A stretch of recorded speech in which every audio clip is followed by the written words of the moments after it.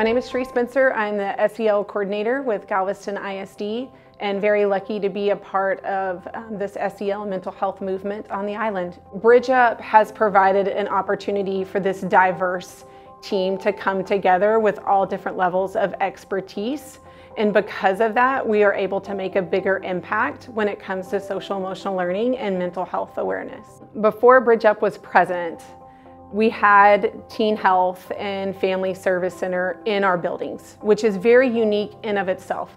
A lot of schools don't have mental health supports within the building.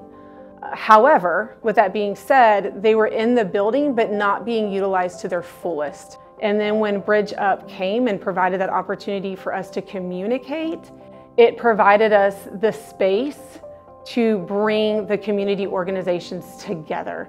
It gave us a common vision to have that collective impact. I can only do so much by myself. I can only move so many bricks. I can only knock down so many walls. And when you get a bunch of people with the same purpose and the same heart and the same vision together, you can move so much more.